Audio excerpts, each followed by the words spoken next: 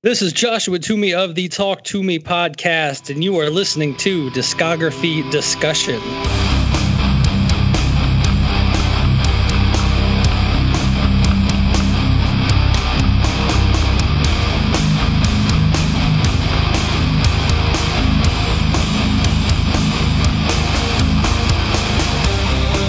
You're listening to Discography Discussion, episode 159 Pantera, with Joshua Toomey of Talk Toomey podcast. Do you have them in fat guy sizes? I I got like two fat guy sizes, and they were like the first two to go. Oh man. Hosted by Dan Terry Oh shit. Yeah, you're right. I did say that. and Joseph Wren. You trying to say I don't take myself seriously all the time? Presented by DiscussMetal.com. And if yesterday don't mean shit unless you said bad things about Pantera, then you are ready for this episode of Discography Discussion. I am Joe. That is Dan. Joshua Toomey is here from Talk Toomey. I am here. It's about time we did this episode. Yeah, it is about damn time. Well, first of all, let me say one thing. Two years ago, if you're not aware, roughly two years ago, we did something uh, Pantera related that we thought would be really funny. Thought it was really funny at the time, but looking back on it, I don't know if the joke is still funny two years later. So it's one of those deals where uh, we just thought that maybe you know there were some people out there that felt like we didn't give Pantera the credit that they deserved. I mean, personal opinion aside, you're still dealing with a band that is considered a metal legend by a really a good majority of the people that listen to metal. So it, it is one of those situations where, you know, it, is that the episode that Pantera really deserves? I, I don't think so. And, uh, you know, I have had some conversations with some people uh, that have been associated with the Pantera camp since that happened. And, uh, I have gained kind of a kind of a different perspective on things, and um, yeah, so we're, we're we're gonna we're gonna try to cut the comedy bullshit a little bit, um, and and and really just talk about these albums, the, these landmark albums that that affected so many people. We're not going to talk about the power metal albums from the 80s, too. Uh, you could talk about those. uh, I'm still not entirely sold on uh, on you know your your projects in the jungle and and things of that nature. Look, dude, power metal is probably Anselmo's best singing vocals, but he made a complete turn and had a completely different style after Cowboys from Hell. I disagree, but we will get into it. Well, before we get into this Pantera thing with Josh Toomey, I want to take this time to say thank you to everyone for listening to the podcast. Thank you for listening and for subscribing. If you are not a subscriber, then you can find everything discography discussion at discussmetal.com. We're on Spotify, Apple and Google Podcasts, TuneIn Radio, Stitcher. So if you have an Amazon Echo or a Google Home, you have no excuse. Ask it to play the latest episode of the Discography Discussion podcast, and it will. We're also on Facebook and on Twitter at Discuss Metal. Be sure to like, favorite, and subscribe. It really helps us out. It lets us know you're listening, and now Dan is going to tell us all about five star reviews. Well, we do love five star reviews here on Discography Discussion. But one thing that I like more than reviews is I like shares, I like comments.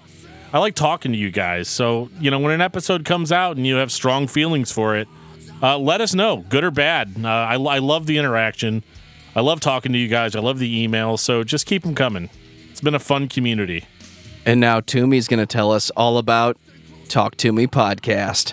I did not know there was going to be homework. Let's see here. The Talk Toomey podcast, hosted by myself, Joshua Toomey, available on all podcast platforms such as Spotify, iHeartRadio, and uh, you know, Podcast Addict, Apple Podcasts, all that great stuff. And uh, basically, just an interview uh, show. Latest uh, episodes with uh, who have we had on recently? Mike, uh, Michael Alago, famous uh, A&R guy that signed Metallica to Elektra Records. That was a good Uh, one. Andreas Kisser of Sepultura. Uh, let's see here. Uh, Gene Hoglan of Testament. And then there was the grade where I got to go to San Francisco and actually sat down with Phil Demmel, formerly of Machine Head, now uh, back with Violence. Uh, that was a fun episode to do too. So yeah, go check it out. We got an email from a listener in regards to our Mushroomhead episode. And uh, more specifically, it was in reference to the album title, The Righteous and the Butterfly, Whereas if you guys listen to the episode, you may know that I said that that album title had no meaning at all. Well, I was corrected, and apparently the references of the righteous and the butterfly would be JJ Righteous, and the butterfly is Skinny's wife who passed away. And because I now know that, I feel kind of bad about what I said because I really, you know, at the time did not have that information and I don't know how widely available it was. That being said, I did not mean to be insensitive on that. And I just want to issue that as a correction that, you know, this album title did have a meaning. And I really appreciate you bringing it to my attention. So, Josh, Yes, sir. tell me about Pantera. Do you mean the greatest heavy metal band from the state of Texas to come and grace our ears, Pantera? They were a, a force to be reckoned with and uh, one of my all time favorite bands. That's what you get. Absolutely one of the most influential metal guitarists of all time with Dimebag. There is more than one Dimebag Darrell trick in every modern lead guitarist, myself included. The riffs, the perfect balance. Did you just put yourself in the category with Dimebag Darrell? No, I merely said that I was influenced by Dimebag. So is like every kid that plays a guitar in a basement. Fuck yeah. you have to have that perfect level of blues, sludge, southern rock, and that attitude that was very specific to Pantera. Individually, as a guitarist, he was just a louder Eddie Van Halen, but that's what he wanted to be. And he got a ton of credit. I don't know if I agree with that 100%. I mean, I think maybe his origins had a had a had a um, loud Eddie Van Halen sound to it, but I mean, you never heard Eddie Van Halen play anything like Suicide Note Part 2. I mean, come on, man. like that's that's that's insanity. And I know like I'm the I'm the guy, but like it's still one of those like you know, it, you can't make a statement like that and it really like an influence is not the same as a ripoff and I think a lot of people have a lot of trouble. Nobody said ripoff. I want to be clear about that. Well, no, I mean you you literally just said that Dimebag was a loud Eddie Van Halen, which I know like I said that once, but I was just being a dick. um, no, I, I think that I think what's interesting about Pantera is I, I don't necessarily want to highlight one member over the other as much as I think it is a combination of perfect ingredients, uh, kind of like the perfect storm, so to speak. Because I mean, you've got Dimebag, who is an incredible guitarist, who has a tone that nobody else has, and a volume that nobody else has. But then you also have Rex, who is basically like I mean, and it's hard to it's hard to really quantify this on the albums. Like Rex sounds amazing on the albums, but like when you watch live videos, like I spent the entire week watching Pantera live videos, and so like when when Dime goes off on a solo, and you've got Rex backing him up, like the band loses no intensity, and like you guys know what I'm talking about, right? Like where where the guitarist will go off on a solo, and it just it almost kind of seems like everything stops, but like when you're watching Pantera live if you if you were lucky enough to have a chance to see that, you would see that the intensity never goes down, and that's a combination of not not only Rex Brown but also Vinnie Paul, who again is keeping the intensity up at a level that I think a lot of bands are almost like incapable of doing whenever they only have one guitar player on stage. And then you've got Phil Anselmo, who is the most one of the most animated insane frontmen out there, whether you want to consider that a good or a bad thing. I think for me, it depends on what day it is. But this band is able to keep the hype going from beginning to end. Well, that's the thing with the songs is I saw Phil over the summer opening for Slayer doing an entire Pantera set. And actually, I guess I saw him uh, Louder Than Life here too. Both times doing an entire Pantera set. And even though it was good, it still wasn't Pantera because you needed the four ingredients to make the uh, to make the Pantera stew, I guess. To make those those four guys were Pantera, and you need that to to continue on.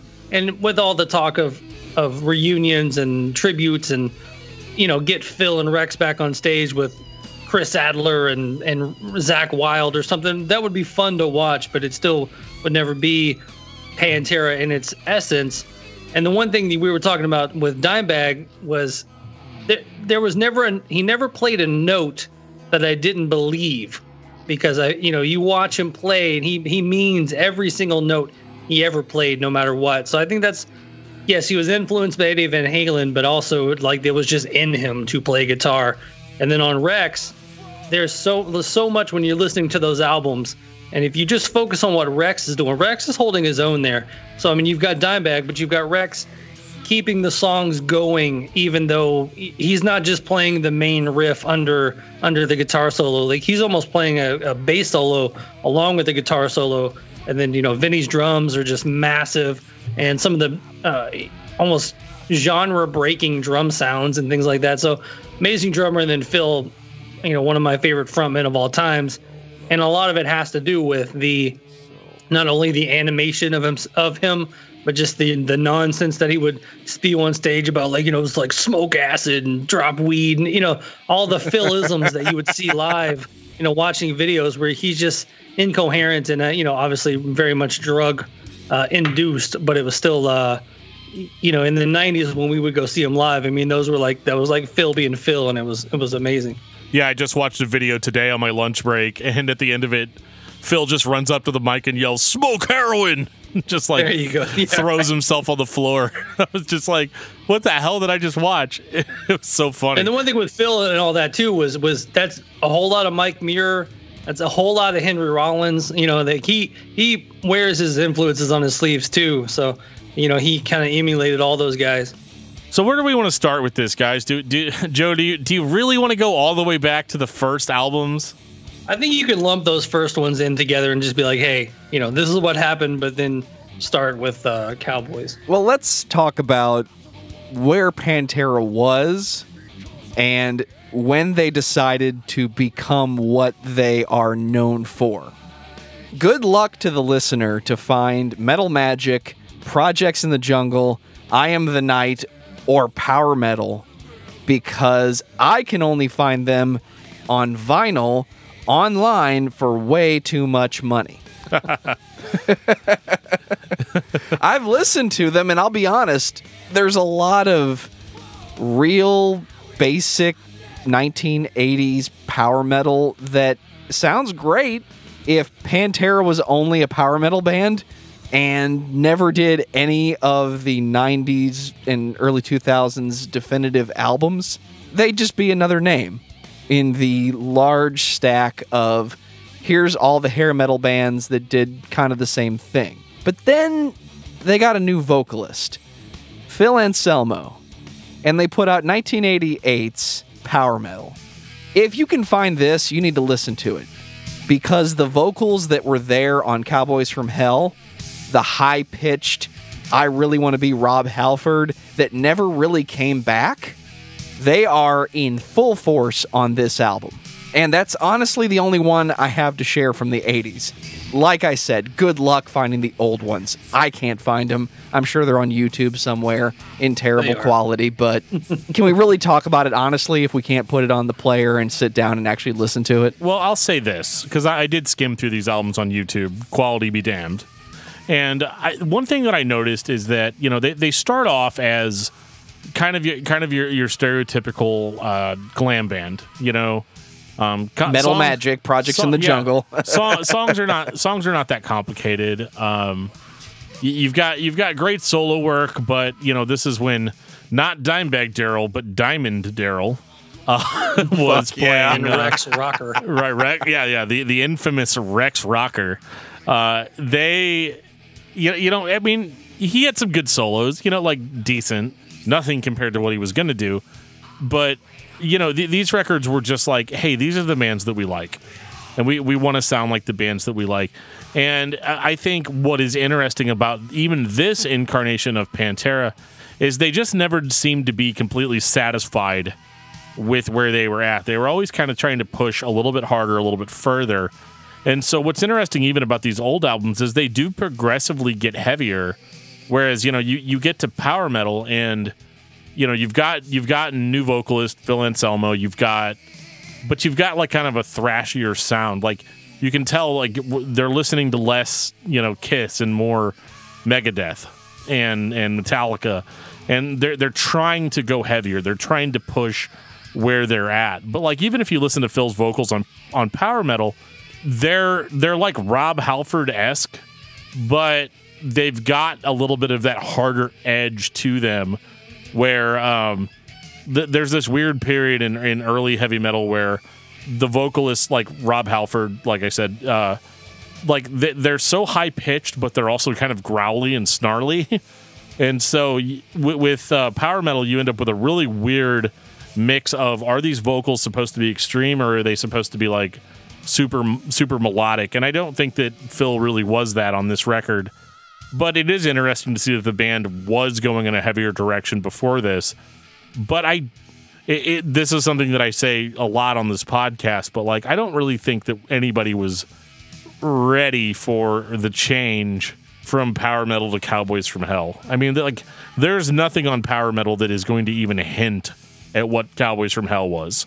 And I think that a lot of that change came from Phil's one of Phil's favorite bands in New Orleans at the time was Exhorder. And if you listen to that Exhorder album, Slaughter in the Vatican, and you hear it now, you're like, oh shit, that's exactly where they figured out to go in that Cowboys from Hell vein because the early Exhorder stuff sounds like early Pantera.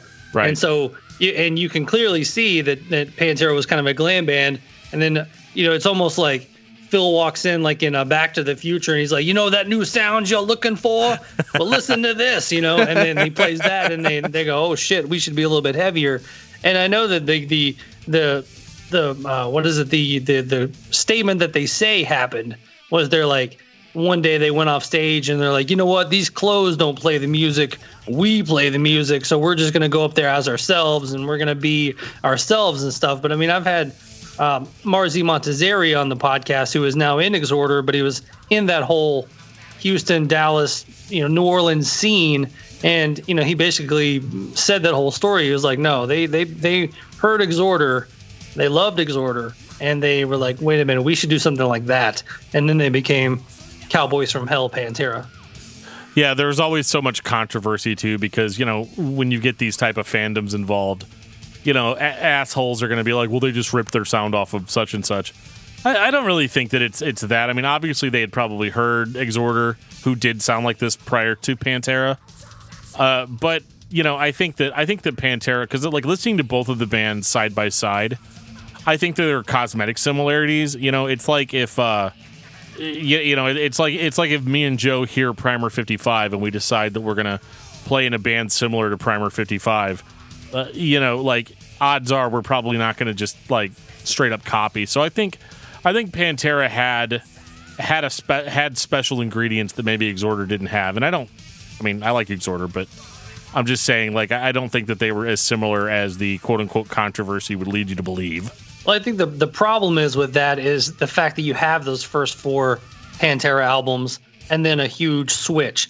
Like if you'd have never heard Pantera and you just had two brand new bands, Pantera and Exhorder, you're like, oh well, it's just uh, what is it? What is it? Shared thought or whatever. Collective when you- thinking, yeah. yeah, collective thinking, all that. So it's just like you know that was just a, a mix of what was going on at the time. You know, everybody was listening to Slayer and Master of Puppets and all this stuff, and that's what comes out is is that Exhorder sound. But what always goes against Pantera in this argument is you have a, a decade's worth of albums before, uh, you know, Cowboys from Hell to kind of go, oh shit. And I didn't actually hear Exhorder until much later into my fandom of Pantera. So you're like, ugh, like, wow, I guess maybe they do have a point that, uh, that, that they, you know, I'm never going to say stole, but, you know, you can be influenced and be like, hey, we should do some stuff like this. Not necessarily let's do this. Well, what record were they trying to make in 1983? They were basically trying to make a Kiss album Yeah. because it's your first record, guys. It's the Daryl brothers. You've got that brotherly kinship and love of music, so they're going to work together and have some of the same ideas because they grew up like me and Dan, where Dan says it needs to be heavier, it needs to be like this, and then I have to go figure out how to make it sound like that. So it's that combination plus we want to play in a band, we want to play music. If you do that for 10 years and one day you wake up, you put out power metal, which is arguably the best of the power metal albums by Pantera, your instinct is not to change the band name and create the Cowboys from Hell attitude and change your whole style. It was 1990. Everybody changed their attitude. Everybody had a different way of looking at music. Everybody picks on grunge for destroying the rock show. But here was Pantera just Yeah. playing a fucking show, being loud as hell, wearing their influences on their sleeve, and you've got Phil who does what he does and creates 1990 Cowboys from Hell. To me, I don't know if you need to do your intro, but your music's running. What's interesting about Cowboys from Hell is that there still are elements of power metal in here. Because I oh, think absolutely. I think Cowboys from Hell kind of out of the more well-known Pantera albums has a distinctly different sound than what you'd get on Vulgar Display and Far Beyond Driven. Power, yes. Yeah, like okay, Joe, we're gonna get to that album. I know. but uh, you know, I- like what I like about Cowboys is that it is like the perfect blend of traditional heavy metal with that '90s fuck you attitude, like of we're just going to be super heavy, we're going to be aggressive. Phil shows off his aggressive style of singing in certain songs, but on others he still adopts kind of a a singy, more of a sing song sound. And what I like about this record is like I'm having a conversation with my dad at one point where he's like, you know, I remember heavy metal bands when they came out like Iron Maiden and, you know, like Def Leppard and bands like that. He's like, but then you tell me that you listen to metal and I come in your room and all it is is like blast beats and screaming. He's like, where's the transition? And honestly, Cowboys from Hell is literally that perfect transition. It's the missing link between these like more extre- extreme forms of metal that are popular now versus kind of the more old school, like deeply rooted metal stuff, the stuff that had a little bit more blues influence. And obviously, the addition of groove into uh, Pantera's sound really, um, that, that groove really gives it that Texas sound. It, it- like, it, it sounds gritty, it sounds dirty, but it still has all the elements you like from heavy metal. This is actually such an important album because it bridges the gap from old school metalheads to newer metal fans. Not not new metal, but newer metal. well, I think the one thing with, with Cowboys from Hell is obviously growing up as a kid having this on cassette. This was a side A, side B record, where the first where side A was like the new stuff, and then you almost had like a like a side B of filler that I may or may not have listened to as much, and maybe even got into a little bit more later on in life. But I mean, songs like Medicine Man and Message in Blood and stuff like that towards the end of the record are are more rooted in their 80s sound to where you you know you got like domination and primal concrete sledge and and and the the heavier stuff towards the the uh, beginning of the record so you could almost see that that you know if you're talking about a, a transition record from one thing to another you know that you have it all in one record because you've got all of the early you, know Phil's high pitched voice and high pitched screaming on on the medicine man and stuff like that. And then you've got the heavier you know cowboys from hell and primal concrete sledge and heresy and all that stuff. So it, it is definitely a, a transition record and it's almost like two separate bands on this album yeah, definitely. It sounds like like a uh, older metal band at war with a with a newer metal band. and, Which um, is great. I'm not going to lie to you. well, it's weird too because so like there's a few things that that stood out to me the last time I listened to this, which was uh, earlier this week. Uh, just kind of prepping up for the episode, as um, certain songs stood out to me more than they did before. Like uh, the sleep, for whatever reason. Like as much of a meathead as I am, I loved that song. Even though I remember a friend of mine in high school was like, "Yeah, man, if you listen to this record, skip track 11. It's called The Sleep, and it will put you to sleep." and uh, I was like, okay, whatever. But I, I listened to it uh, this week, and I was like, wow, that's really good. And then to follow it with the art of shredding, I think was really one of the best ways to end this record. Uh, but it's kind of fun too because, like, yeah, it sounds like two bands at war with each other, but at the same time, it also sounds like a greatest hits album for a band you've never heard. Like when you're listening to it, it because you know how typically with the greatest hits record they will start with the newest stuff at, at the top and then slowly go backwards. Uh, I felt like that's what this album kind of sounds like. If you're if you don't know Pantera, you know you you might be fooled into thinking that this record is a compilation of previous material that you just haven't heard. It definitely plays that way. It sounds like the songs that the Daryl brothers were working on together when nobody else was around and it's the 80s. So, man, nobody's to like this. What are we to call it? Call it Primal Concrete Sledge. That's hilarious. Ha ha ha. And then 1990 comes around. You get those influences. Everything just turns slightly to the left. And it's, guys, this is awesome. You got anything else? Do we?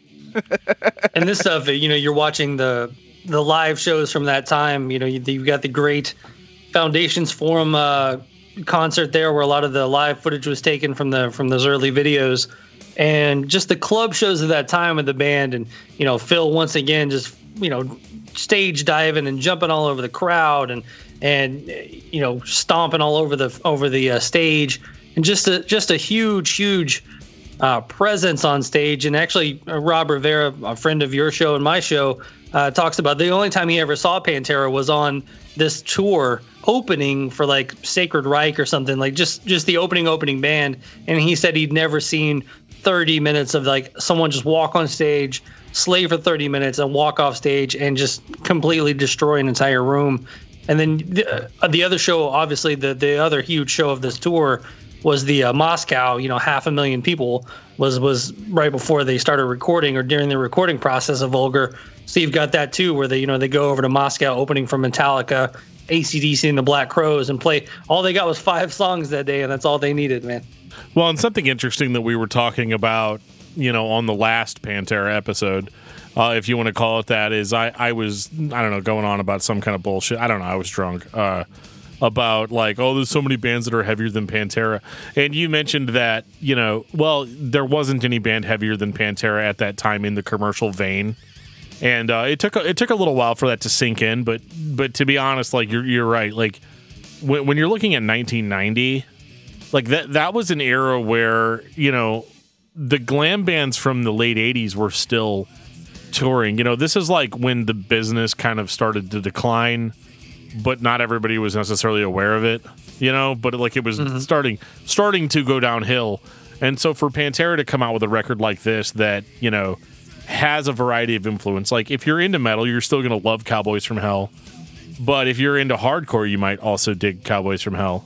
Not as much as you're going to dig uh, vulgar display of power but you know like like people that were into kind of more like i feel like in a certain sense like um dimebag created kind of this uh, or he was called diamond darrell at the time um created kind of this uh like he almost catered to the old school metal fans whereas then you have like um you have like Vinnie's drumming that's like super heavy right and then you've got Phil who is going for a more aggressive vocal style. So it's like they appealed to two crowds really well in a perfect way for that year. And I think that is largely the reason for the for the album's success was that um, you- you're you're appealing to heavy music in general in, in a way that I don't think any other band had really at that time.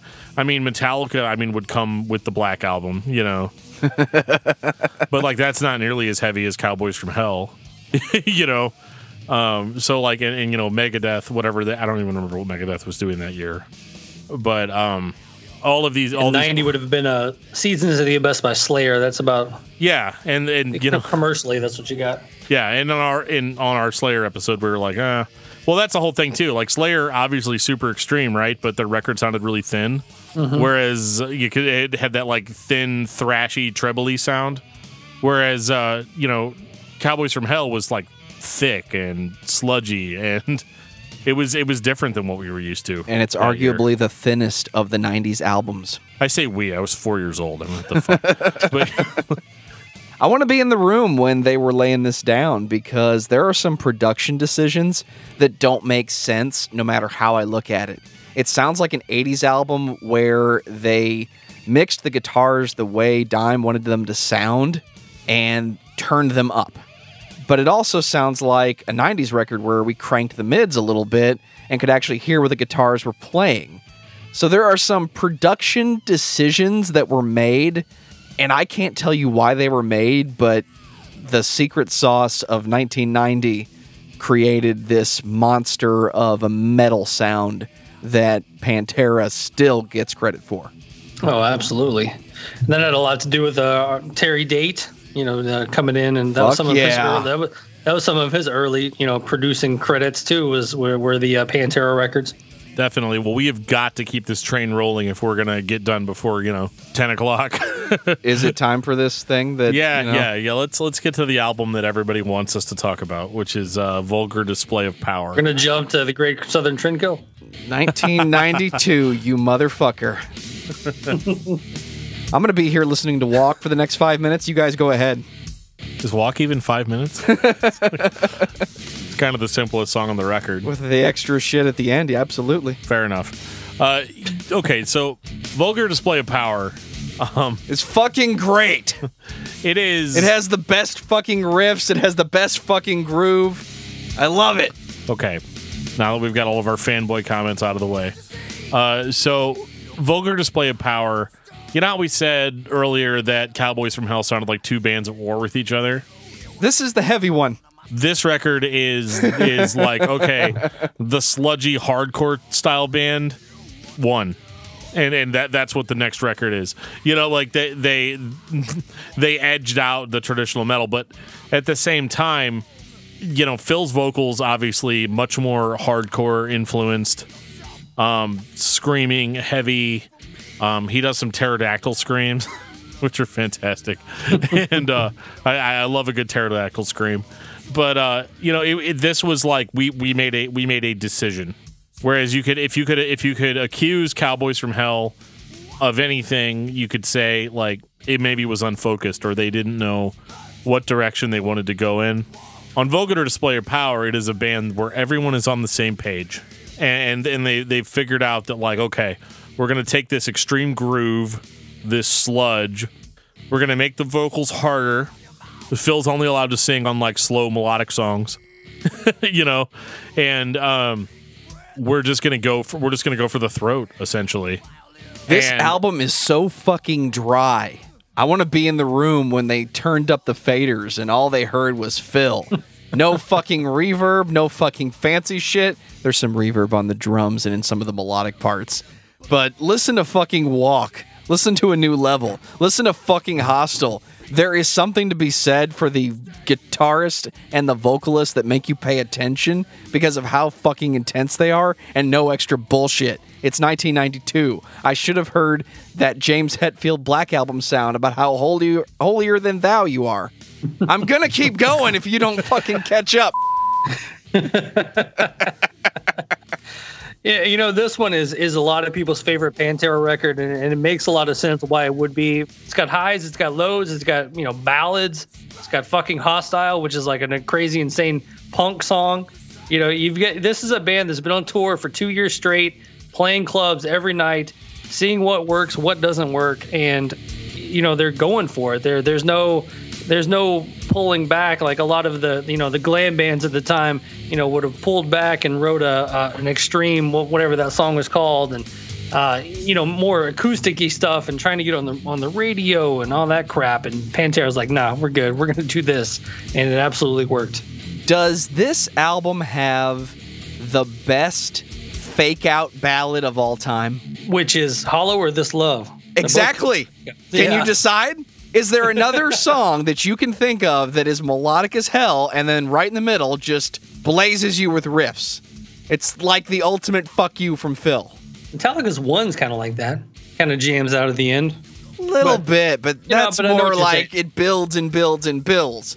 This Right. love is like, yeah, I'm really happy that you're here. Fuck you!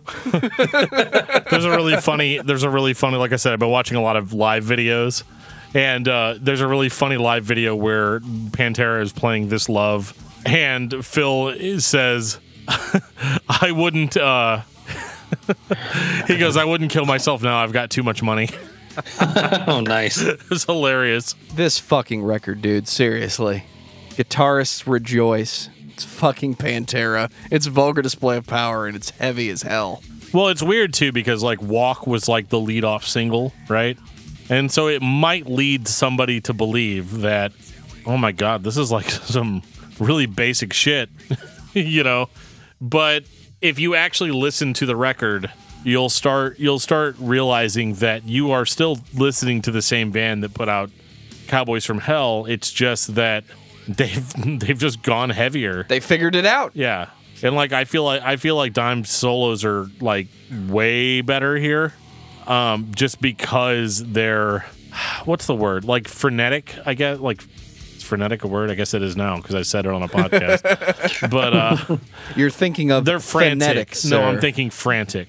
They're a little bit more frantic. They're a little bit more desperate, and um, like I don't know, like I, I really enjoy the the way they kind of cut through the uh, all the mud.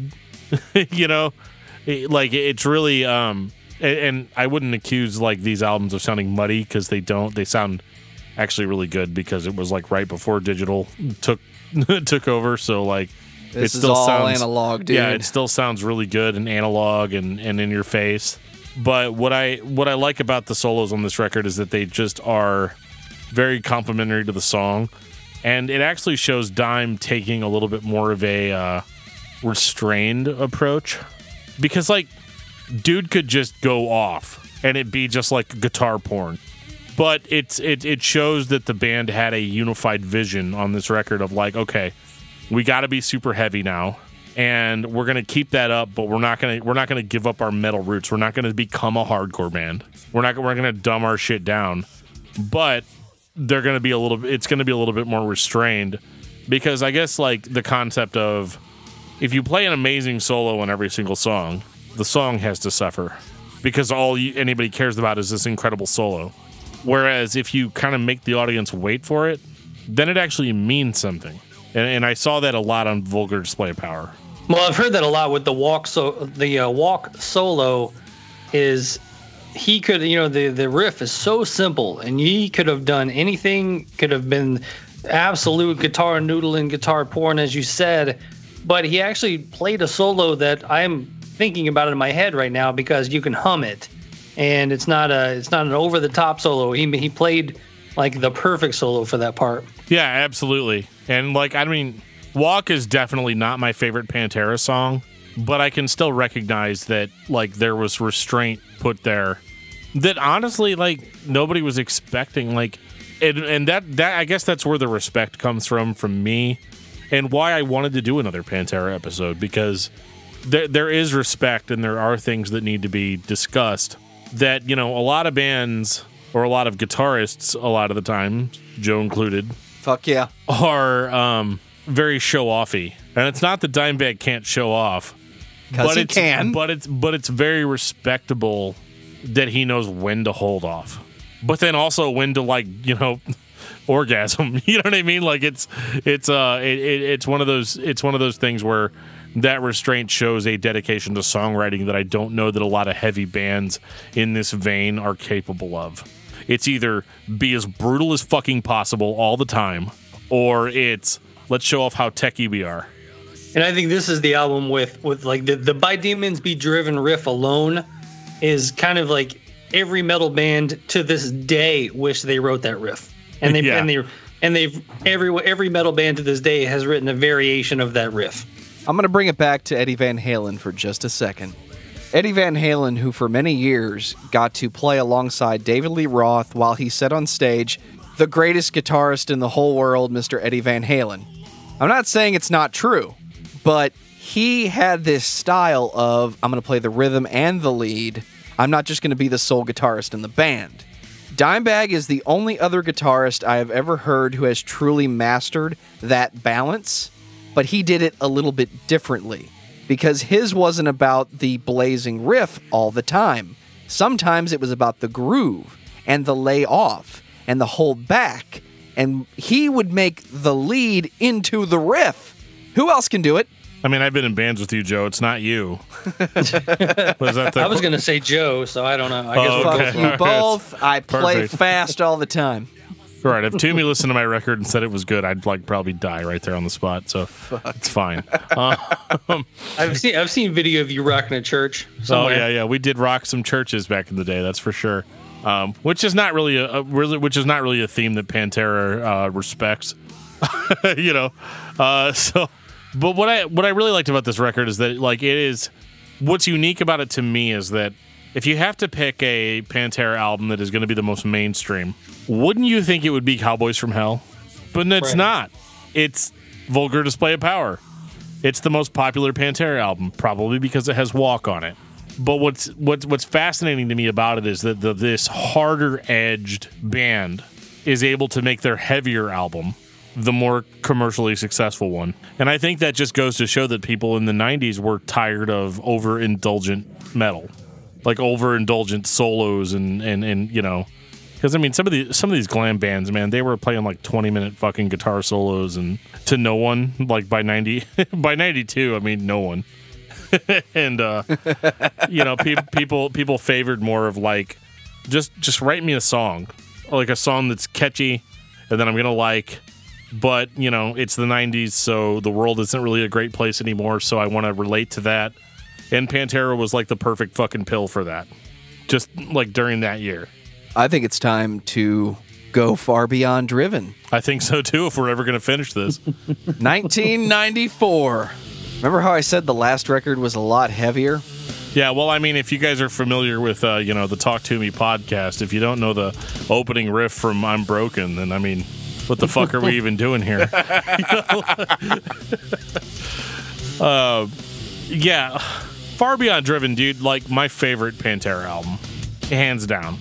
Yeah, like if you could, if you, if I Dan Terry have a favorite Pantera album, it's Far Beyond Driven.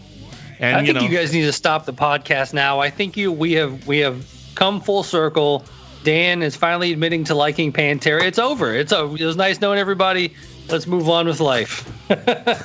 and Joe's gone. And there Joe left, and there there's a dog. But um, no, you know it's funny. This is this is the Pantera album I came in on. Uh, there was a special on Headbangers Ball like the weekend before this album came out. I you know obviously I used to uh, videotape or record every episode of Headbangers Ball, and I watched this episode all week, and it just showed the one thing we haven't really talked about is the the personalities of Pantera. You know the how you know they filmed everything they were goofy they were hanging out they were you know Dime was the life of the party wherever he went and this really came through in this headbangers ball special about far beyond driven. And then far beyond driven comes out becomes the first heavy like metal metal record to go number one. Uh, you know unless you ask sebastian bach and he'll say that was slave to the grind another great album. But we, we're going to say that this is the first metal album to go number one on billboard 1994 just completely you know slaps in the face of everything going on at that time. I mean if you think about 1994 this is the height of grunge. This is the height of you know just goofy uh, stuff on the radio and y- y- you know even uh, you know nirvana and, and pearl jam and soundgarden. Like that is the height of all of that. And pantera's like no we're gonna do this. You're slaughtered. You know? Fuck. Well, and it's like I was saying before, like even those old Pantera albums got progressively heavier. And so like you hear an album like Cowboys from Hell and you're like, "Oh damn. These guys are really stepping it up." And then you hear a record like Far Beyond Driven and you're like, "Oh damn." I'm sorry. You hear an album like Vulgar Display of Power and you're like, "Oh damn." Like they they just took it and ran with it. So, like, by the time you get to Far Beyond Driven, it's like, oh man, I don't even know if I can handle this. Because it is everything Vulgar Display of Power was, only more intense. And it's funny, too, because, like you said, the personality of the band, that, like, these guys were kind of like, like fun dudes, you know? Um, you know, Phil notwithstanding. Uh, but even then, I think he was a fun dude, just like, for some reason, felt the need to. And drunk. And very I'm not even talking about Phil. I'm not going to pick on Phil tonight. I'm not going to pick on Phil at all, man. I uh, I feel the need to mention this because people are going to be all like, "Why did you hate Pantera so much two years ago?" And now, like, you're like licking their balls. Um, it's not.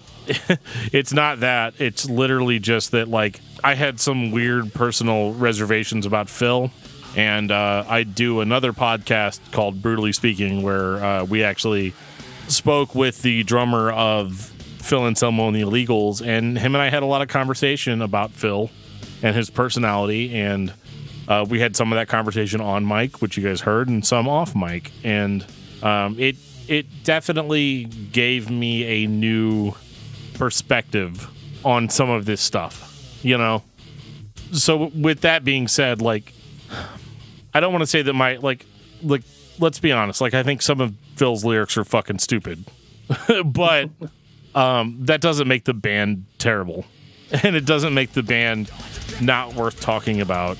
And um, you know, everybody writes stupid lyrics. Like I used to be in a Christian rock band called Jelly Donut, and I wrote some really fucking stupid lyrics. Okay, so like I mean, me insulting Phil's lyrical ability is kind of like the pot calling the kettle black in a certain way.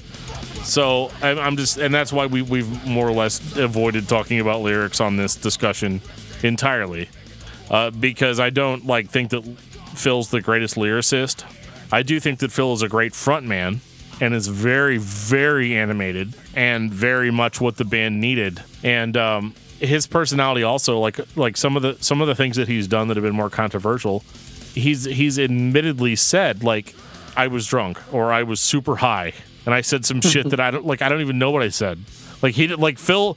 Phil's the kind of guy that like got super super drunk or super super high or both, and He was taking painkillers for And- back pain right now, right? and finds out the next day what he said.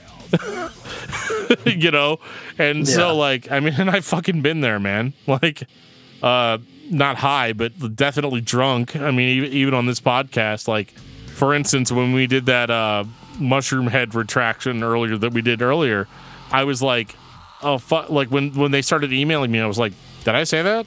I don't even remember if I said that or not. You know, so I had to go back and listen to the episode, and it was only then that I was like, oh shit, yeah, you're right. you know, I did say that. Um, and and so like, if I'm gonna say that kind of behavior is okay for me, then I can't say that it's not okay for Phil. you know, it doesn't make any sense. It's it's No, hypocritical. I got you. On a lighter note, my favorite part of this whole episode is the fact that I can no longer hear the music, but Joe can, and Joe is having the time of his life, and he looks like a psychopath because he's grinning and bobbing and, and jamming, but I can't hear any music, so Oh, I think it's pretty funny. When I do the episodes for my house, I, I have to pull the music up myself in order to get the same experience. but yeah, okay. So far beyond driven. Like, let's get back onto the album. Um, So what I originally said was they were all very drunk. I've seen the home movies. I've uh, studied which were how to great. make an actual black tooth grin. These guys loved having a fucking good time. They were trying to create their own mini rock star experience because there's those stories about being on the tour bus with all the booze and all the dudes and all the that were not dudes and all the fucking beer that you could fucking drink and other things. Toomey's been there. Yeah, I've actually been there with Pantera. There was a, a great story about uh, the 99 or 2000 Ozzfest. Thanks for taking I, that uh, from me. I, I, I took I took a uh, um, I was at Ozzfest in St. Louis actually, and we went to. Um, uh, I was walking out, and I just broke up with my girlfriend at the time. I had like no job. We was I was still in the band, but uh, uh, the, the little uh, Carney thing said "Help Wanted," and I was like, "What's this Help Wanted about?" And they're like, "Oh, well, you travel with Ozzfest, and you set up these carnival games every day, and you know you make uh, like seventy five dollars a day." and you get free food. And I'm like, well, fuck, I'm leaving. And so I went back to my friends. I was like, hey, I'm leaving with Ozzfest. I'll see you guys back in Nashville. And so for the next uh, week and a half, two weeks, I did like five Ozzfest. I set up these games every day, and uh, and Pantera was on that, so I got to see Pantera every day. But when we got to Dallas, they were like after after Ozzfest party at the clubhouse, which was Vinnie's uh, strip club in Dallas. So I was like, all right, cool. So I got a ride over there. I go in. Everyone from every band is in there having a good time.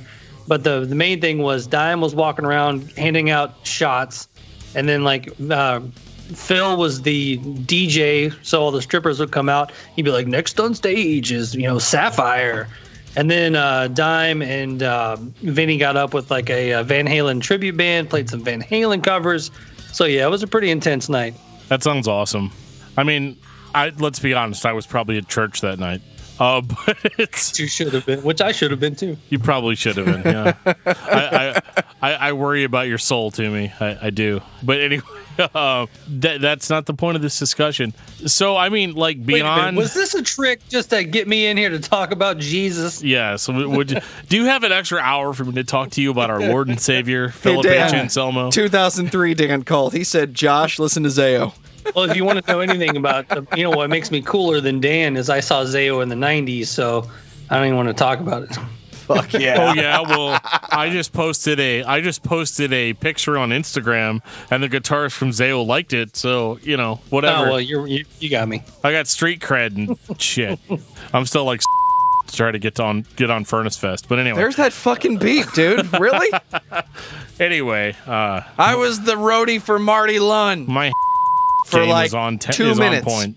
But anyway, uh, But yeah, far Really? beyond driven, other than other than Good Friends and a Bottle of Pills, which is my absolute worst, the, my least favorite Pantera song of all time. it's terrible. I mean, it's it's a interlude at best. Everybody has to have those every now and I then. mean, though. it's not the best decision they ever made on like leaving a song on the album, but like, was anybody like really surprised? Like, I even asked myself that question. Like, after we posted the original Pantera episode, I went back and listened to it, and I was like, "What the fuck did you expect?" you know, like, you know, back then, like, I mean, this is this is when Phil was like, because they had put out Cowboys from Hell, and they had put out Vulgar Display of Power why would you not think that Phil was full of himself? I'd be fucking full of myself at that point, you know? So, yeah, he's going to put out something dumb like that, but like, that's not representative of the album as a whole. And me being more of a fan of like super brutal shit, it doesn't get much more brutal than Far Beyond Driven. And I mean, well, maybe like the Great Southern Trend Kill, but we'll get to that. but like, I think it's time. well, we haven't even talked about Far Beyond Driven. I mean, we haven't talked about the amazing cover of Planet Caravan that's on that album, and uh, literally one of my favorite Pantera songs, even though it's a Black Sabbath song. You know, like I, I like, and here and here's why I like Pantera's cover of Planet Caravan more, is because it sounds more modern. Like it's still '90s, but it sounds better than like the original Black Sabbath version because I have that on vinyl, you know, and it it sounds awesome. It's a great song, but I like hearing it with like better production. And Phil does Yeah, an incredible job. And this is like the like I said earlier, this is when I got into Pantera. This is when I started to go see them live. You know, I got to see uh, Pantera '94 at like uh, the big amphitheater in Nashville, coming out doing you know "Becoming," which is one of my favorite all-time riffs. And then you know you've got the classics. I mean, even the singles on this album don't get me don't get as played out as Walk does. So I mean, even I'm Broken and Five Minutes Alone still stand up. But I mean, you know, like Strength Beyond Strength and Slaw. I mean, this is just a, a banger after banger album. You know, aside from Good Friends and a Bottle of Pills, which I, I think it's just the you know the subject matter of that song because I mean. Even the uh, the screaming and stuff in "Good Friends and a Bottle of Pills" is kind of cool. Yeah. yeah. I mean, you just keep going through this whole album of just like hit after hit after hit for me, and uh, yeah, this is definitely a, a life changer of an album.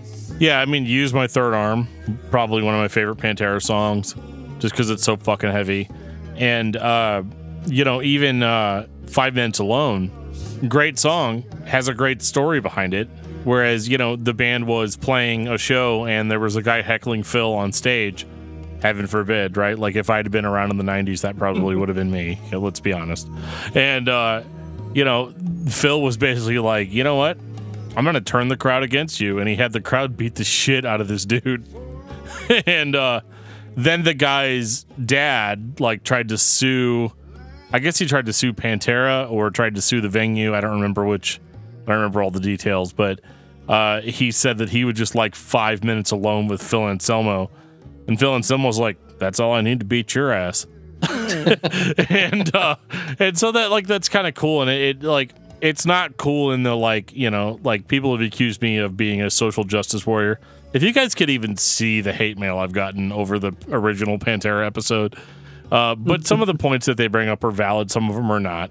But uh, one of the things was you know people accuse me of being a social justice warrior but like i think a song like five minutes alone. You know, back when we did that episode, like, dude, like, I'm going to be totally transparent. Like, nobody was listening to our podcast back then. you know, nobody was. And um, so I didn't really understand what it felt like to be targeted by people or to be heckled, you know, unnecessarily by people. Whereas, like, now, like, three years later, like, after we started, we've been doing this a while, I definitely can understand what it's like to be heckled by people for no reason. And so when I listen to a song like Five Minutes Alone, I'm like, fuck yeah, dude, Phil, Phil got it.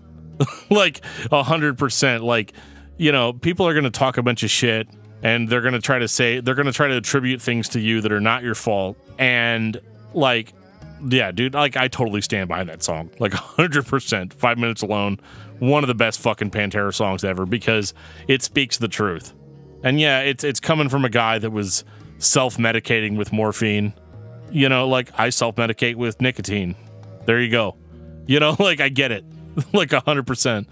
And so like I, I definitely have understood where Phil's coming from on some of these songs, like from a from a more personal perspective. It's been it's been a lot of growth in two years, guys. It's been a lot of growth. Step one, come to terms with your ailment. Step two, well, step three is profit, but well, get yeah, the idea. we'll get there at some point.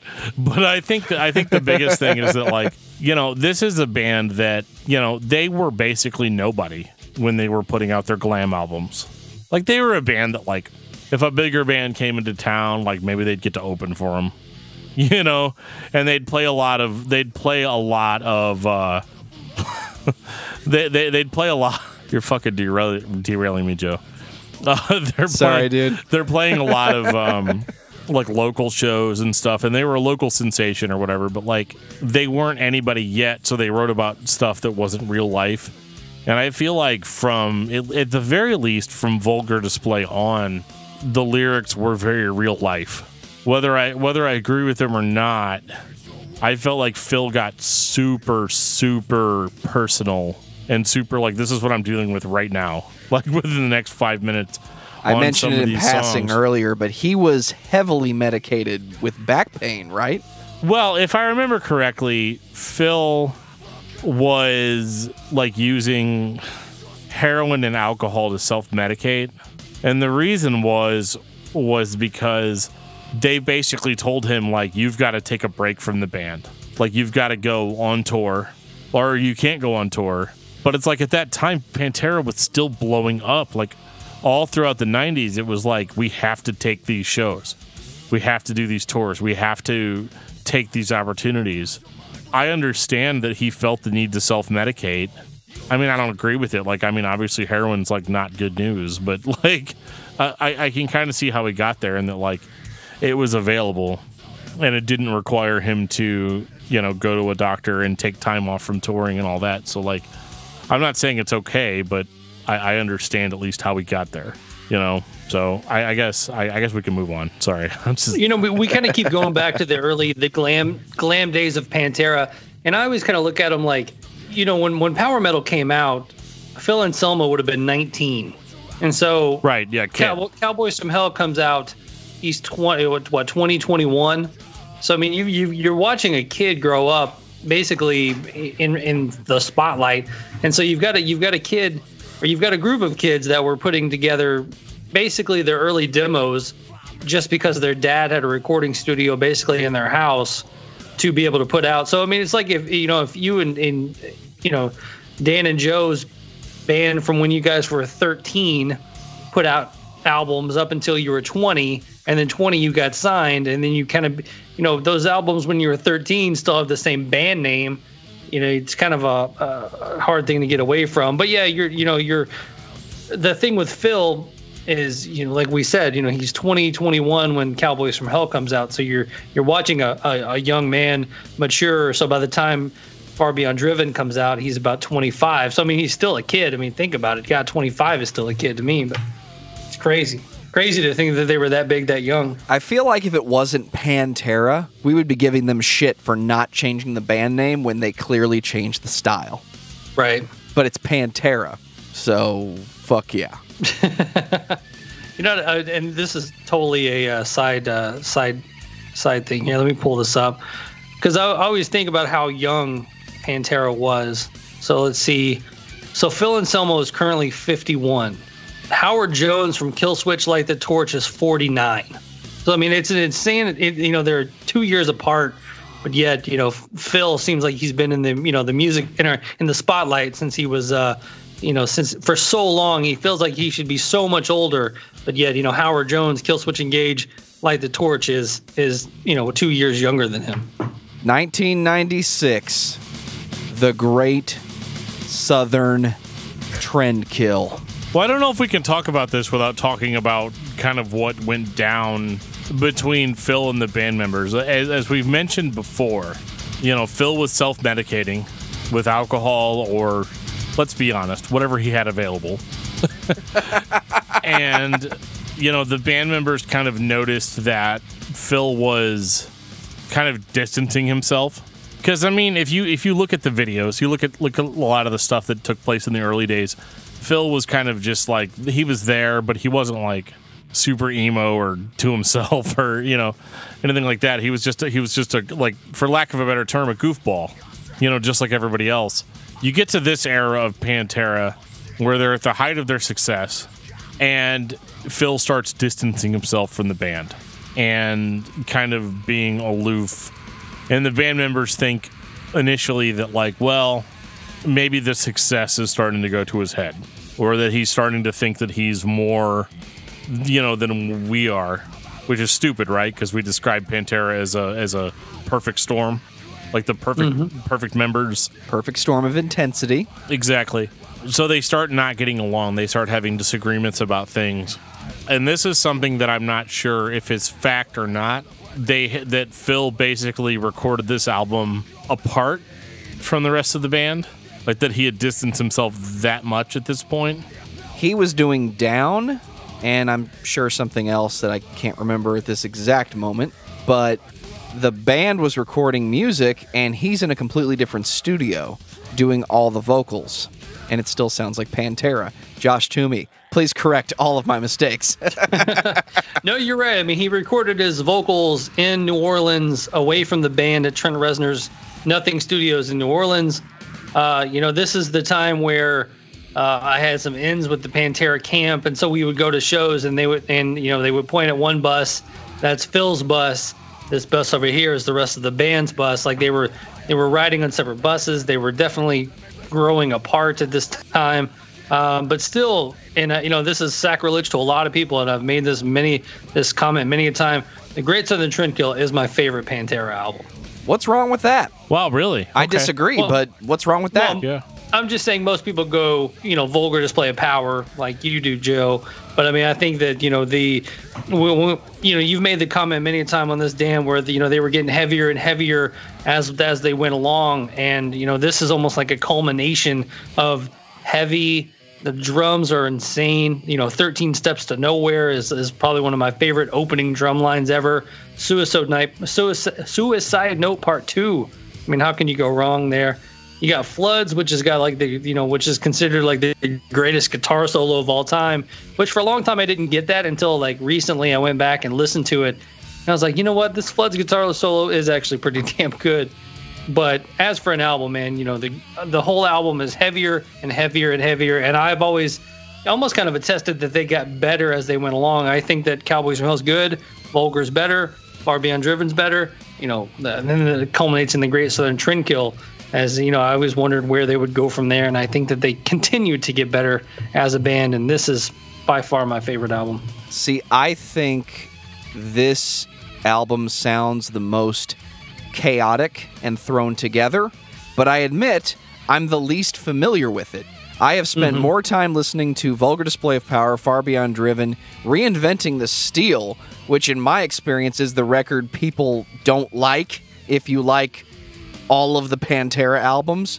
But when I listen to this, it doesn't sound like a band working together. The Abbott brothers are obviously doing their thing. Rex is there, but then there's more space than I would expect where Phil is not performing. Mm-hmm. So it doesn't sound like they did these apart, but it also doesn't sound like they were tight on this record. I don't know if I agree with that because I think controversial statement here, but like I think that Suicide Note Part 1 and Suicide Note Part 2 are worth the price of admission alone. They, like they really are cuz like that it was, you know, cuz I'm I'm working and I I listen I'm listening to these records and I'm thinking like the the, the fucking like change of mood between those two songs is so like jarring that it's profound. Like I can't believe how extreme that is. And not only that, but like they, they definitely have like a I, I don't know, like like whenever you say it's not as together, not as in sync, on those two songs especially, it seems like a very unified vision. Like it's hard to really quantify in words, but like those songs like really grabbed me. And honestly, I've listened to these songs like a million fucking times before I did this week for this episode, and it didn't grab me. I was like, eh, whatever. It's like, okay. Suicide Notes one and two are like hollow taken to the next extreme. That idea of the slow song that builds and explodes and closes out the record, they are absolutely that. But for me, the album as a whole doesn't work as well as the other records. I don't know though because I think that it edges out.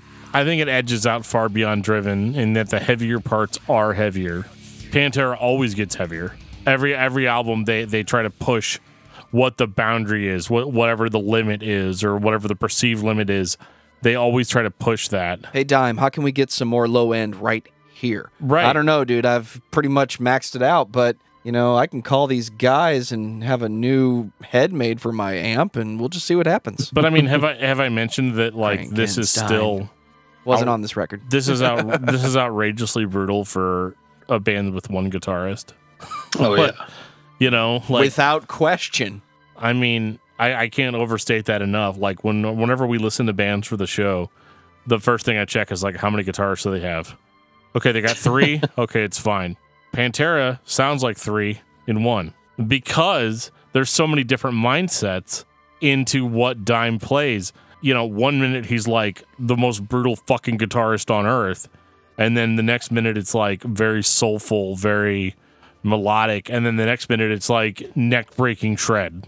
You know what's crazy about this, and you got to think about the time. You know, we've talked about the the pre Cowboys albums being kind of in the grunge era or the glam era, and then the early Pantera stuff is throughout the grunge era. But music in '96, you know, I'm listening to a lot of Korn, a lot of Deftones, a lot of this nu metal is starting to cr- creep up. Sepultura, yeah. Sepultura, all that stuff is, is coming coming out, and you know, not only do they not do that, they get heavier and heavier. And you got to think Metallica is doing load and reload at this time, and you know, Megadeth's doing whatever God knows what at this time. I mean, everybody's kind of like. Yeah, they, they, yeah, they're doing a risk. So everybody's kind of taking a left turn, and, and Pantera is just trudging through, like keeping this type of metal just alive. I mean, if anything, man, you know, Pantera should be commended for what they did in the '90s uh, for every album that they did, no matter no matter which one you go to, because no matter what the trend was at the time, and can, no pun intended, because they were the Great Southern Trend Kill. But I mean, you, you know, I remember buying this album, and I was probably wearing a Korn hoodie, you know, at the time, and so and some JNCOs or something. But um, so everything was just just changing around them, but they were still not only staying the same but getting heavier. Absolutely. They they always continued that trend of being heavier, of, of pushing the line, pushing the boundary. And like as a as a, you know, hardcore fan or a, or an extreme metal fan, like I, I have to kind of respect that because they always stayed true to what they were.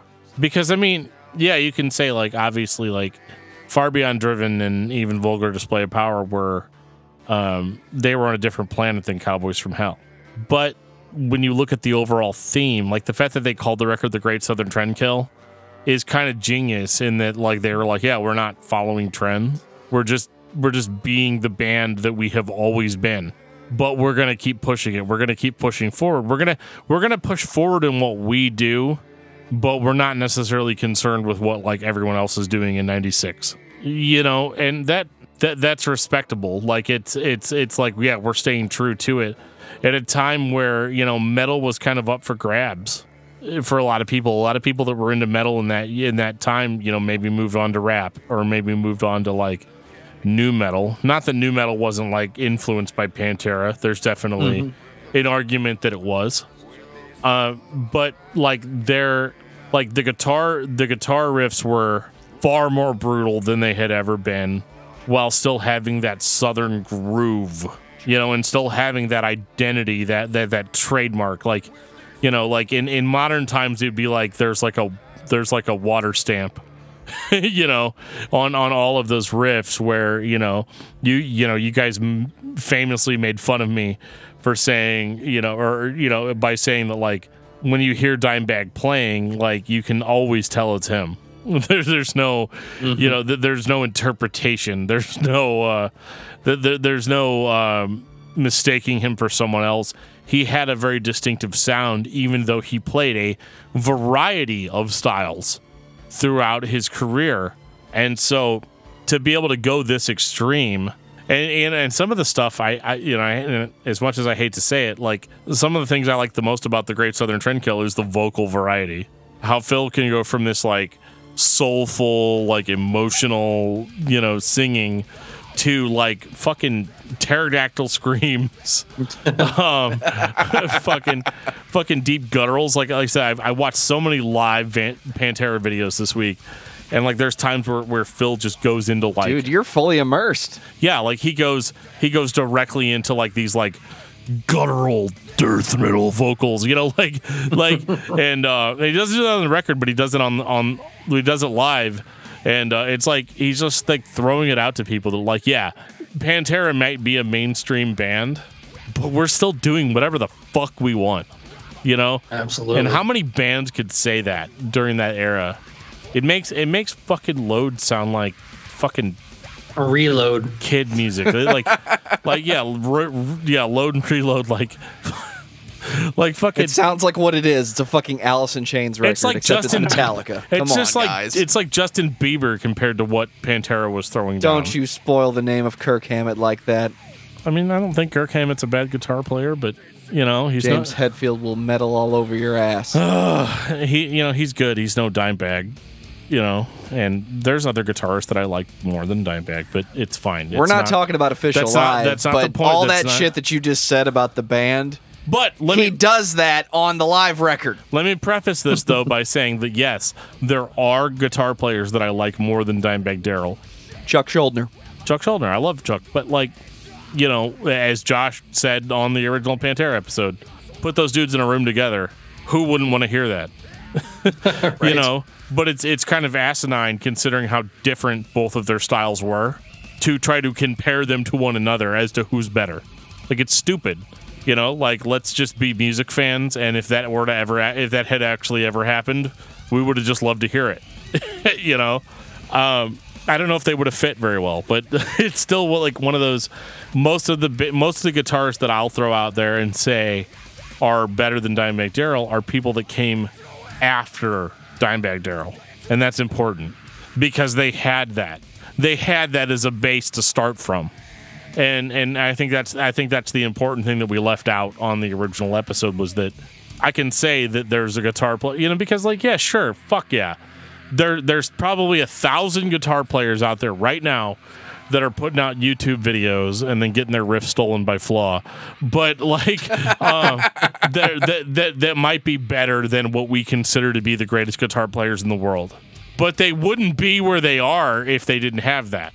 The one thing with Dimebag and his solos and everything else, I mean, I, I may have even said that on the original uh, podcast with you guys, but you go see a band cover a Pantera song, it might sound okay until the solo comes up, and then you just then you realize like, no, that guy's not Dimebag. Like he could even play the notes, but there's just still something missing because he's not feeling the notes. He might play the correct notes, but he's not playing them just right enough. Right. You brought it up earlier. Everybody's talking about how do you get Phil and Rex and Zakk Wylde on stage and do a Pantera set? Everything you just said about Dimebag, Zakk Wylde can't do that. He's his right. own thing. He's his own version of loud as fuck, fast as fuck. But compared to Dimebag, he sounds like a technician who's trying to play as fast as he is, and he gets there, but he doesn't feel the fucking solo. He's just blazing for the sake of fucking blazing. Well, I mean, I'm Yeah, not gonna. yeah. Oh, go ahead. Sorry. Well, I was just saying when they keep bringing up Zakk, I think it's not not necessarily his playing. Obviously, he can play the parts. Right, it's the I'm just saying, I kinship. think It's the fact that they were it's the friends. friendship. You know, yeah, it's that it's that whole side of it too. You know, I've- And that would have been always think it cool. be- That absolutely would have been cool. You know, it would be cool to do it. John Five. Give me John Five playing Dimebag parts, and I'll take it every day. Ladies and gentlemen, Josh Toomey just booked the show. Let's make it happen. Who's going to play drums? I'll throw some fucking sponsorship money down on that. Give me, uh, give me Chris Adler. He ain't doing anything right now. Chris Adler. we get Scott Bowling to throw some sponsorship money down. It'd be awesome. But uh, you know, You mean our good friend down in Atlanta, Georgia, Scott Bowling? our best friend in the entire fucking world down in Atlanta, Georgia, Scott Bowling. You know he's listening to this. Yeah, he. I, we love He's you, Scott. We love you, Scott. We really do. I just I want to hug you. I've done it before. I'll do it again. But anyway, um, I think I think what's what's fun about not not not necessarily fun, but like Let me finish the point about how they did not follow the trend. Do I it. think if Pantera follows a trend in killed the trend. 1996, then it sounds like Damage Plan, except Phil's doing the vocals. Mm. Does anybody want that? I don't think they do. I don't think in 96 if Damage Plan comes out except Phil Anselmo's doing the vocals, I don't think anybody would have liked that. look, dude. I That's mean, not the same as we did power metal and then we did cowboys and then we went with it. Pantera was about the onslaught, the riffs, and move forward. Nobody wanted Pantera to play nu metal. Well, they didn't. I mean, it's fine. they didn't, but they did take nu metal bands on tour with them. So They did. But the, the, in the one thing, and I I know this isn't a tourography discussion, but the tours at this time, this was the uh, Pantera White Zombie co-headlining tour. Talk about a show! Like that was fire and dragons and flames, and then White Zombie comes out. And, you know, so how the- was it backstage, Josh? Uh, you know, I was not backstage on that one. Well, I might have been, but uh, He wasn't. A, he wasn't a legendary podcaster then. no. but uh you know i think i think it's interesting when when talking about this record in that i know a lot of fan a lot of fantera fans i know a lot of pantera fans that fell off during the great southern trend kill and i can't figure out exactly why i mean i have a theory and i think i think what it is is that It had to be the controversy. what controversy i don't remember there The being fact that the band was not getting along and Phil was doing what Phil does at the time. right but i mean that was every band that was at their level at But that the time. question is, why did people fall off? Because drama. The only reason that real fans fall off is drama. I think because assholes got tired of metal. like that's just my opinion. I mean, th- th- there's people that love metal for life, and there's people that hop kind of on to a trend and like are into something for a certain period of time, and then they decide that they're not into that anymore. And like I feel like with Pantera, yeah, you can say yeah, sure, there was controversy with Great Southern Trend Kill, but like as a record, I don't I don't personally hear that controversy on the record. You know, um, I hear. I mean, I guess if you're like an audio engineer like Joe is, I can't imagine to, like to be that. But like, um, from my perspective, I don't hear that on this record. It sounds like another Pantera record. I think it's not necessarily as hard as Far Beyond Driven was, in that I mean the heavier songs are probably heavier than Far Beyond Driven, but I feel like they kind of went in- some more melodic directions on this record. Not in like a pop way, but just more of like in an expressive way. And so like that that's why I think this record is actually one of the most well-rounded Pantera records because you've got Cowboys, which is well-rounded, but it's kind of unfocused. You have uh, Vulgar Display, which is just all heavy, but not as heavy as uh, not as heavy as Far Beyond Driven. Far Beyond Driven is all heavy for the most part. And then you get to Southern Trendkill and they start kind of in, introducing that melody back into the sound. So, I mean, I think that it makes total sense uh, musically, like where it's at. Which I guess brings us to, you know, steel was a thing, but before 2000, but they have apparently reinvented it. Hellbound kicks this one off. This might have been the first record by Pantera that I bought on CD. So I had that increased audio quality, and I thought this was the thickest fucking thing ever. Wait, you didn't start buying CDs till 2000? No, this was the first Pantera record that I had on CD. All right, all right, whatever. You motherfucker. Hey man, I was late to the CD game. I'm not gonna lie, I was real late to it. Love my cassettes. I would buy both, whichever one was cheaper. I didn't know the difference, and my Walkman was still a cassette. Nice. Despite how the band may have been getting along or, or not getting along at this point, I mean, this, this is towards the end, and this is kind of one of the hardest records to talk about, but it's also a really hard record. So, I mean, like, Goddamn Electric, I mean, come on. Death Rattle. yeah. Oh, my God. We'll Yesterday grind don't that mean axe for a long time. Yesterday don't mean shit. You know, it's one of those things where everybody looks back on this album and, and it's kind of like the the forgotten Pantera album almost. But then you actually put it on and you're like, man, these songs hold up too. Like it's just like like to me, Pantera just progressively got better. And even, you know, like I said, the Great Southern Trend Kill is probably my favorite album, but this album got heavy and, and it was still great. You know, the, as the the heavy version of Pantera, the five studio albums they put out, you know, not a clunker in the bunch. You know, there's not a there's not a you know music from the Elder by Kiss in their in their collection. There's not even a Good Friends and a Bottle of Pills on this record. No, not at all. you know, and um, Revolution is my fucking name. But like, I just think that like I don't know, this record really showed that number one, props for it being the same band Yeah. all the way back to Cowboys. It's the same band.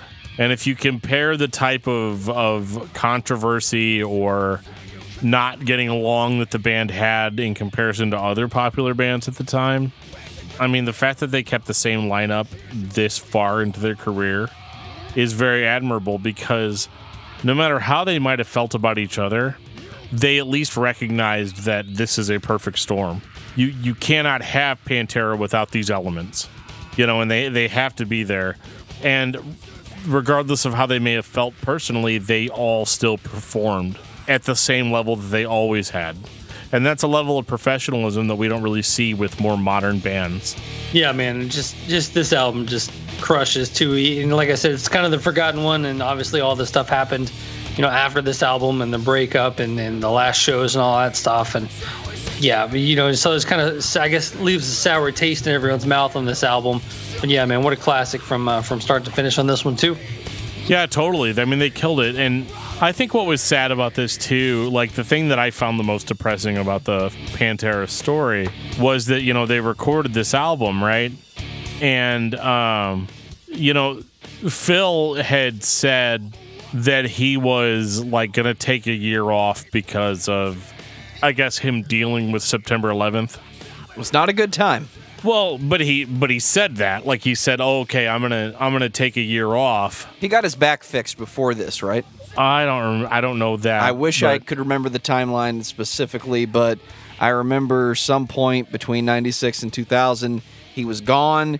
He was doing that, but then he also did Down. So a lot of stuff going on in addition to what you're talking Well, about. Well, he didn't just do down; he did down and super joint. But he's telling, Fucking Super Joint. I haven't listened to them in a while. but he's telling the Abbott brothers, "I need time off to deal with September 11th." And and you know, after Down goes on tour and Super Joint goes on tour, they're like, "Bullshit." you know, like you're, you're out, you're you're out touring with the with your other bands, and you're not spending time with your main monkey, main monkey, main money maker, which leaving is that in. Okay, that's fine. uh, you're not you're not spending time with your main money maker, which is Pantera, and I mean that ultimately led them to get frustrated, understandably frustrated, and they're like, okay, well, if Phil doesn't want to do Pantera. And like we've said throughout this whole episode, like if you don't have all of the ingredients for Pantera, you can't have Pantera. So they can't hire another singer because people will be pissed. So they basically disband Pantera in what was it, 2003? They're like, okay, I Yeah, guess I think Phil's never. about that time. Yeah, they're like, I guess Phil's never coming back. you know, I guess that's it. And uh, so they formed Damage Plan. And we're not here to talk about the Damage Plan album. I'm not going to talk about that. Uh, Roach Coach actually uh, did a retrospective, well, not a retrospective, but they did a review of uh, of the Damage Plan album, so you guys can go listen to that. And um, you know, it's it's obviously different than Pantera, and unfortunately, like I think after Damage Plan was a thing, you know, everybody started talking about like, oh, when are we going to get the Pantera reunion? When are they coming back? I know they said they're done, but they got to come back, right? They got to come back. They're one of the biggest metal bands of the world. They have to come back. And uh, unfortunately, at a Damage Plan show, uh, an individual uh, decided to make a decision that was going to affect everyone. And um, unfortunately, uh, Dimebag was killed on stage at a Damage Plan show. And um, I don't have a lot to say about that other than, like, how do you kill the nicest guy in the world? I mean, honestly, I mean, from from all accounts, all the interviews, for all for all you fuckheads that think that I don't do research on the episodes before we do them, um, I've listened. I've listened to almost every interview. I've listened to a lot of the interviews that even even Toomey has done with people that were part of the Pantera camp.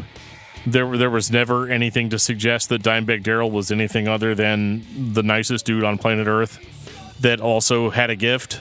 He was an instigator of the party. But I mean, yeah, of the party. Like, who the fuck hates a party?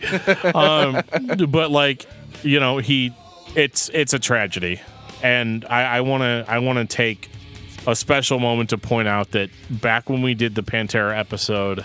I had said that, you know, like somebody was like, oh, Pantera, they're coming to get you. The Cowboys from Hell are coming to get you. And I made a comment along the lines of, you know, uh, oh, well, only some of them will that that that was really out of line and and and really insensitive and um and I feel bad for saying it. You know, I I think when I look back on that original Pantera episode, you know, I we did that because I had said that I didn't like Pantera that much and that, you know, I, I didn't like them as a band and that people people started getting really, really pissed off that I didn't like Pantera. Like like I was required to like Pantera as a metal fan to be a metal fan. And we kind of did that episode as like a big fuck you to people like that. But and to you, eh, yeah. But that doesn't. but at the same time, that doesn't that doesn't excuse making light of a situation like that. I mean, it was a horrible tragedy, and we we really lost something really important that night. So I just don't want to. I don't want to understate that, and and that you know even if even if Dimebag had continued only with Damage Plan for the next you know 15, 20 years, fine. you know, um, right? Because the, there there's no understa- understating what he did, and um, it just sucks. You know, like that's the reason why we have secure more security on stages, and we have we you know like that was just something that you know I in a lot of ways equate it to the murder of John Lennon which was kind of like not exactly the same situation, but kind of similar. You know, I know they the impact on the industry. Yeah, like they they never really like necessarily concretely understood why this person uh, went into a venue and shot up a whole bunch of people.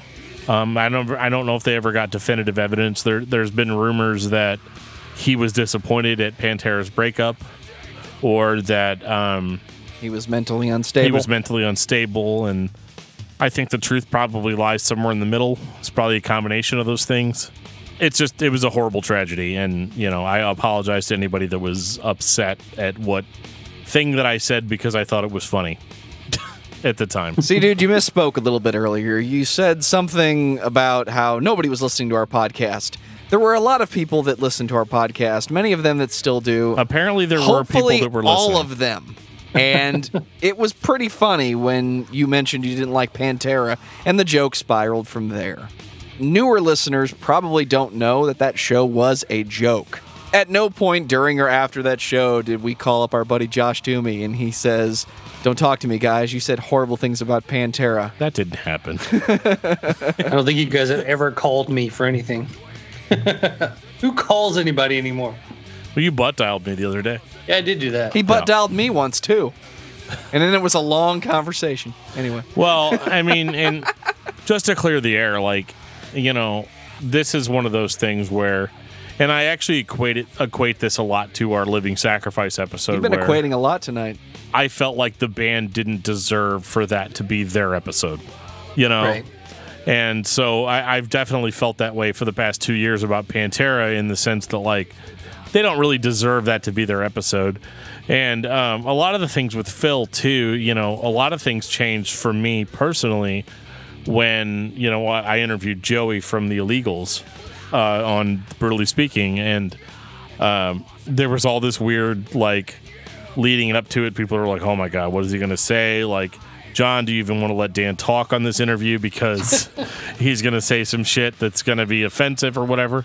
But instead of instead of making a bunch of accusations and launching into it, I did something that's a little different for me, and I listened. I listened to what Joey had to say about Phil, about his interactions with Phil. And even in leading up to this episode, I talked a lot about, or I read a lot about Phil and the supposed racism and, and, and all that stuff. You know, like Phil, like, yeah, Phil had that Dimebash incident where he said white power on stage. But it's funny because, like, I've listened to a lot of Pantera videos and watched a lot of Pantera videos this week. That is not the only time Phil has said white power on stage. um, even, it just happens to be the first result on YouTube. Right, right. Even even by a long shot. And um, but you listen to what Phil says in interviews, and he says like, "I said that. I shouldn't have said that. That was stupid." And so I've and you know when I talked to Joey from the Illegals, he's like, "Well, how can this dude be racist if every if everybody from this band is mixed race, like or, or from a different race than Phil, like how does that work? Like how how if this dude's a racist, why is he like a really good friend of mine and like gave me a job and you know and, and all of this stuff? And it definitely it definitely changed my opinion on Phil and even um, whenever we did that interview, you know, John sent me a, a screenshot where Phil had actually texted Joey and said hey, tell these guys mad props for delivering the actual news and not throwing their own opinion onto it. And it was so like you have to understand how weird that was for me after like doing that Pantera episode and then you know like like here I am, you know, a year later and I'm like, you know, maybe I was wrong about this or maybe maybe I maybe I spoke too soon or whatever. And um I will say this, Phil Phil has said some some comment has, has made some comments over the years that could be interpreted as racist as racist. However, what I see a lot of the time is that whenever he's doing that, he's under the influence of a substance of some sort. That doesn't necessarily make it okay. I mean, you can make the argument that when you're under the control when you're under the control of a substance, you might say things that are more indicative of your character. What I what I see more of with that is maybe Phil might struggle with stuff like that sometimes. Like he might struggle with having racist feelings. You know, what he grew up in like what New Orleans, you know, yeah. and so like th- those were places that you know earlier in the decade were more segregated and might have had racist leanings. And it's hard when you grow up in a society that feels a certain way about something. So I, I kind of interpret it more now as maybe this is something that maybe Phil just struggles with a little bit like knows objectively that it's not correct and actually does try to remedy it when he can, uh, which is more admirable. Like what's what's more admirable than self improvement? Which is yes. what I'm which is what I'm trying to do with this episode. You know, like like like with uh, with, with a little bit of self improvement. Come on, dude! Don't spin it around and make it about you. I'm not making it about me.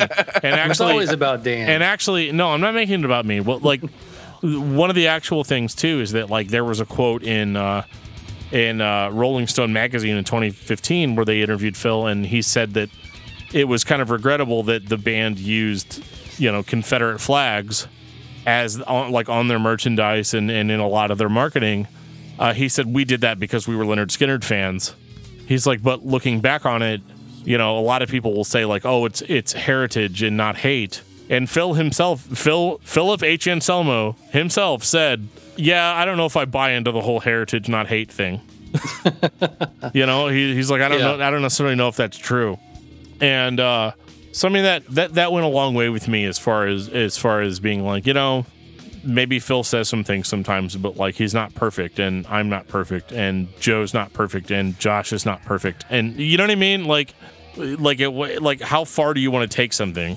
You know, because at the end of the day, Phil still fronted one of the best metal bands of all time. There you go. You know, and, and so you deserve you deserve credit for the things that you did right. And if you did something wrong, as long as you're like, yeah, I did that wrong, I, I should probably fix that. I feel like Phil has tried to do that, and so I'm I'm I, I don't I'm not going forward like super upset with Phil Anselmo, and um, I think it's terrible what happened with Dimebag Darrell and and Vinnie Paul passing shortly afterwards, and that that Pantera reunion that everybody wanted, unfortunately, is kind of really in danger of not happening whenever you've only got like two guys left. Would that be your final thought? You want that to be my final thought? You want me to shut the fuck up? Outside of this or in general? final thoughts on Pantera. Dan. Yeah, I mean, it, like their stamp on the metal scene is undeniable. Um, I have to admit, I'm not like the biggest fan of the Southern sound, but I can very much appreciate the impact that it had on the metal scene. And there's still songs that hit me that hit me in the feels. And uh, one of the funny things that, that Geoff said on the original Pantera episode was that when you're listening to Dimebag play, you feel invincible. So I put that to the test. I uh, loaded up on my computer, my vintage Windows 95 computer, and uh, I played the original Doom game from 1993, and I listened to Pantera pretty much exclusively while I played Doom. And I have to admit, I, I definitely felt invincible while listening to those songs. And um, so, yeah, I mean, I think I think overall, their their Pantera's impact is undeniable. And even if it's not for everybody, you can't ignore the impact that they had on the modern metal scene. Josh, what about you? Oh, good lord. Uh, any listener to my show knows that Pantera is my all-time favorite band. Uh, like I've said on this episode, you know, they kind of kept metal alive throughout the 90s. You know, the only band that was selling out, you know, amphitheaters and, and arenas at the time that was this heavy was Pantera. You know, the, the Metallica at the time kind of went by the wayside heaviness wise. I mean, they were still a popular band and they were playing big shows, but I mean, they put out Load, Reload, and and all, all that nonsense throughout the 90s. And then you've got, uh, you know, the you know they survived grunge and nu metal and, and kind of just stayed true to themselves. And I think that's what made them one of my favorite bands. And then obviously just growing up watching the home videos just kind of took you into that camp. Um, you know, I got to meet Pantera uh, multiple times, and every time you went away from Dimebag Darrell, you felt like you were, you know, saying goodbye to a good friend, even though he, you know, you might have only met him for a minute or two, but he just had that about him, man, that could bring you in and make you feel, you know, that he was like your best friend for your whole life, and uh, such a such a great dude, and it's such a great band, and just all in all, man, it's just uh, you know, great tunes, great band, great chemistry, great charisma. Uh, you know, I can't say enough about Pantera. I think Pantera is the most influential metal band that nobody can fucking touch. Nobody that listens to Pantera can sing, scream, yell, or engage the crowd the way Phil does. You don't think I scream as good as Phil does? Nobody I take it back. can play the guitar the same way that Dimebag does and leave the audience wanting more.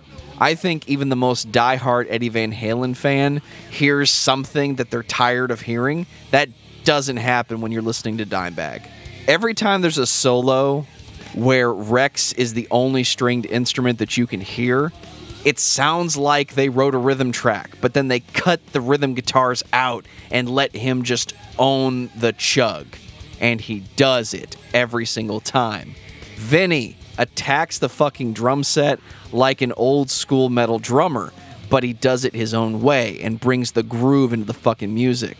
When you put the Daryl brothers together on everything, because they were always on everything together, it doesn't sound like two people that are just writing songs. It sounds like two people that are on the same wavelength. And the oh, perfect yeah. storm of Pantera is fucking brutal as hell. And everybody needs to listen to Pantera. Dan, what's your album of the week? Oh, that's kind of a hard one to uh, to quantify, but uh, to to throw back to our our uh, NF episode that we did, I'm I'm still pretty much rocking uh, "Perception" by NF, in addition to some Pantera songs. Josh, what about you? Uh, album of the week this week will be um, uh, the latest from Sepultura, Quadra. Uh, if you're a Sepultura fan from any era, you will enjoy Sepultura's Quadra. Uh, kind of, you know, it goes back to their thrash roots in the beginning, all the way through uh, through Roots, through Chaos A.D., and even has some of the later stuff. And uh, the of the Derrick Green era albums, probably my favorite. Everybody talks about Hellyeah.